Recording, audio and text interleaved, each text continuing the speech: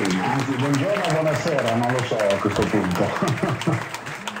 allora, Stefano è, è, riuscito a liberarsi dai tanti impegni che aveva e quando l'ho contattato ha detto ci sono, non posso mancare a un appuntamento ovviamente con la storia. Allora, entriamo, Stefano, voi avete preso la società nel 1983, parlo della tua famiglia, e la cosa importante iniziale è stato che il tuo grande papà ha detto il Piacenza Calcio lo gestiremo come si gestiscono le società. Ecco, nell'83 era una cosa un po' strana da sentire, ma poi alla fine è stato così per lui e anche per il futuro del calcio. Ma io credo di sì, cioè credo che la, questa è sempre stata la sua filosofia. Non dimentichiamo mai che mio padre non ha mai accettato di essere chiamato presidente, volevano che lo chiamassero ingegnere, proprio perché lui alla fine era un imprenditore, un imprenditore che aveva la sua visione, come tutti credo gli imprenditori di successo, e voleva gestire la società Piacenza Calcio come una società, eh, come una delle tante società che avevamo per cui lui ha continuato con questa logica eh, chiaramente si è accerchiato di persone che avevano tantissime qualità, da quelle professionali a quelle umane, che credessero nel progetto e che potessero dare tutto quello che potevano dare al Piacenza, non tanto come Piacenza Calcio, perché per noi Piacenza, come tu sai, credo che la gente lo sappia, Piacenza rappresenta una realtà che è la città.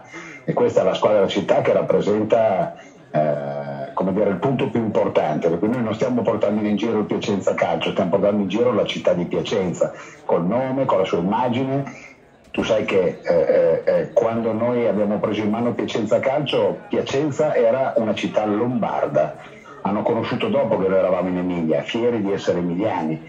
Per cui credo che questo fosse l'impatto maggiore che mio padre voleva dare, era gestire una società con eh, una, dire, una, forma di gestione uguale identica a tutte le altre, per cui attenta ai bilanci, attenta alla struttura, attenta a quello che si faceva, costruendola dal, dal piccolo, con il settore giovanile e contornandosi di uomini estremamente validi, uomini che oggi non ci sono, uomini che non sono presenti, uomini che hanno contribuito all'arrivo di Marchetti, di Cagni, che sono stati due elementi fondamentali eh, senza togliere niente a nessun altro, eh, nel senso che tutti sono stati fondamentali sicuramente questi sono stati gli uomini più rappresentativi del, del grande trionfo che c'è stato nel 93.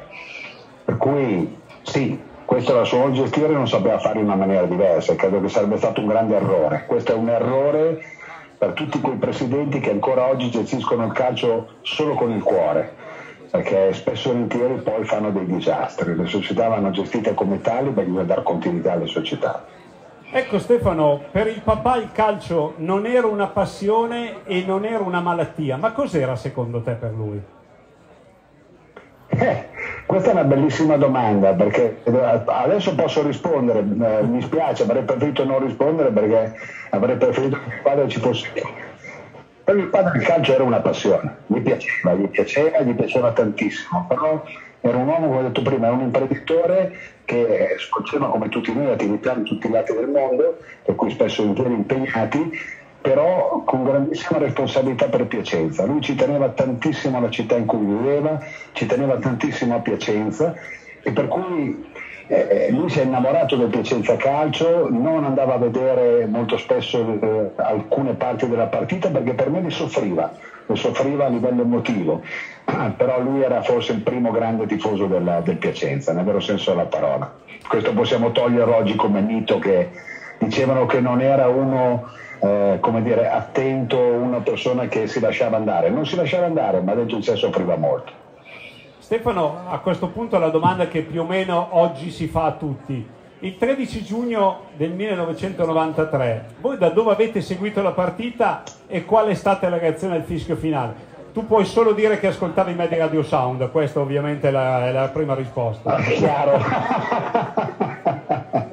eravamo a casa dei miei genitori, eravamo tutti lì a guardarla, a sentirla, eh, a soffrire tutti quanti. Devo dire che quando eh, eh, è finita la partita, al di fuori della prima felicità c'era eh, eh, come dire, la, la, felicità di aver ottenuto un risultato fantastico per Piacenza.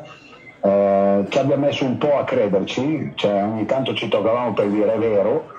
Eh, però fondamentalmente credo che sempre con lo stesso equilibrio con cui abbiamo accettato grandissime vittorie e grandissime sconfitte. L'importante era cosa si faceva il giorno dopo. Grazie Stefano, un abbraccio, grazie per la tua partecipazione, un saluto da tutti noi. Grazie a voi. Un saluto a tutti e darei un saluto grande a tutti questi meravigliosi attori che hanno permesso questa grandissima promozione in Serie A, per cui tutti i giocatori, eh, a Marchetti, a Cagni, a tutti quelli che ci sono ancora e grazie per quello che avete fatto per la nostra città. Eh. Grazie ancora, un applauso.